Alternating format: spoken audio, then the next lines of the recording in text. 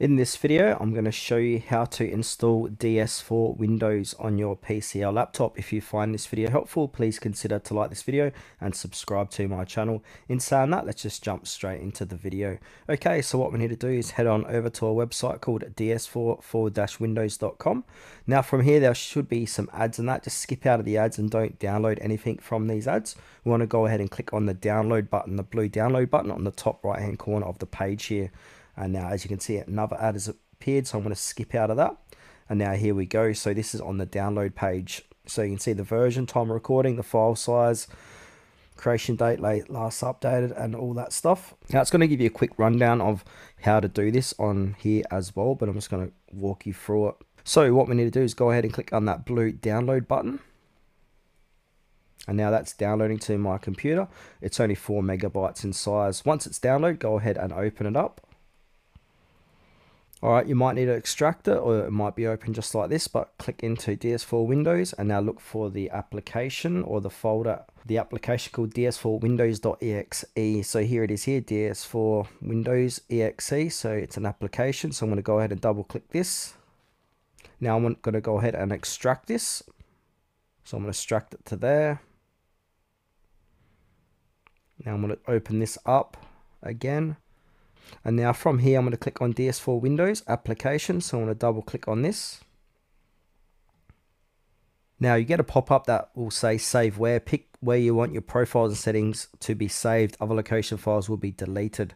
So we could choose program files for those who prefer a portable program. Note this option does not work if in an admin folder without UAC or app data for those who prefer a regular install. So I'm just going to choose app data for this. And now another box that will appear. And as it states it says enable devices mapper support. So due to other mappers enabling support for multiple device types, by default, DS4 Windows only enables support for reading for DS4 controllers by default. You can specif specify mapper support for other supported devices type here, but be careful when using DS4 Windows with other possible mappers running at the same time. So I'm just going to go ahead and click on close. I'm going to click yes.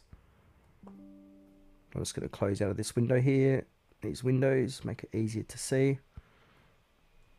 All right, so we got two windows here that says welcome to DS4.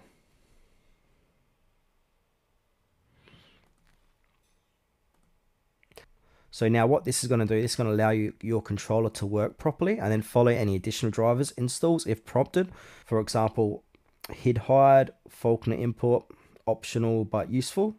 And now after this, simply connect your DualShock 4 or DualSense using a USB cable or Bluetooth.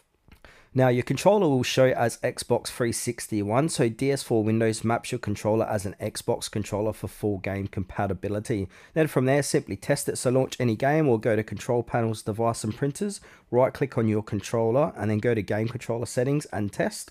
Now I've got some additional tips here. So keep DS4 Windows running while gaming. You can create custom profiles for different games inside of here. And also check for updates within the app for better compatibility. So if you're finding that it's um, a bit sluggish or lagging or glitching, make sure DS4 Windows is up to date.